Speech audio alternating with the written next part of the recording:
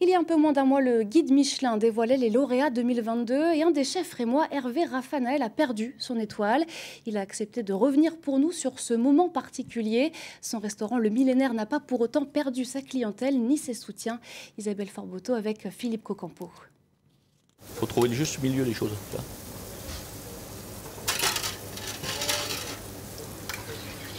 J'ai pas besoin de te le dire, tu, vois, tu le mets tout seul, le sel, j'ai pas besoin de te le dire, c'est déjà pas mal. Transmettre est l'une de ses passions. Hervé Raffanel est entouré d'une équipe très jeune et tous ont été affectés par la perte de l'étoile au guide Michelin. Ah, et sincèrement, j'ai été comme touché, mais je pense qu'ils ont été touchés plus que moi. J'ai vu des petites larmes hein, sur le coin des yeux de certains jeunes ici. Et puis je leur ai dit, parce que je, parce que je suis haut en verbe, hein, moi j'aime bien m'exprimer. La première chose qu'ils m'ont dit le lendemain, on fait quoi alors aujourd'hui, chef? Je dis, mais vous êtes con, on fait comme hier. On fait de la cuisine, on fait plaisir aux gens, il n'y a rien à changer.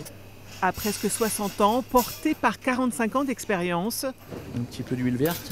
le chef Raffanel n'est pas prêt à se laisser déstabiliser.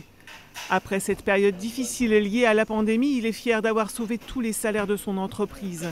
Et du guide Michelin qui l'a sanctionné, il aimerait quelques explications.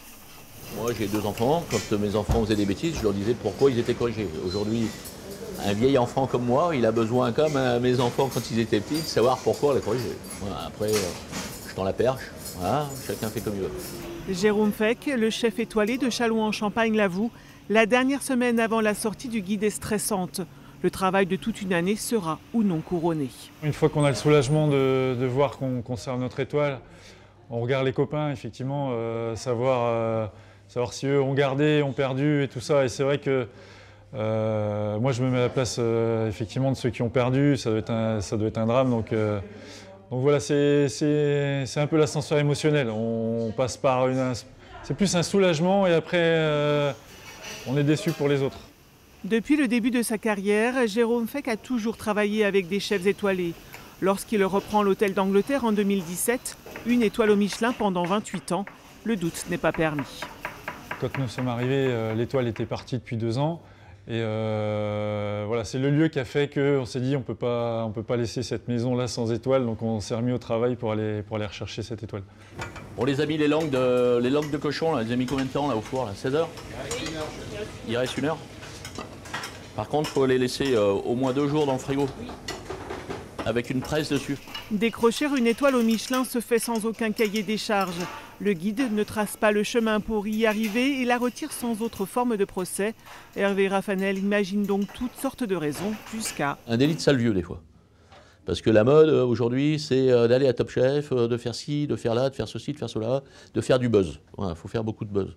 Moi, j'achète tous mes produits dans la région.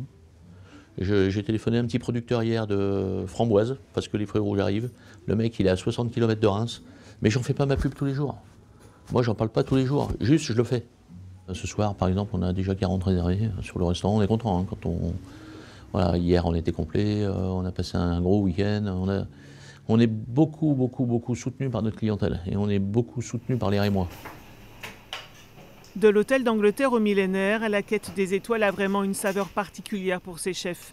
Ils aiment être confrontés à ce milieu de rigueur et de plaisir. Moi, je suis profondément amoureux de mon métier, profondément amoureux de la cuisine, des produits, et ça, personne ne me l'enlèvera, aucun guide.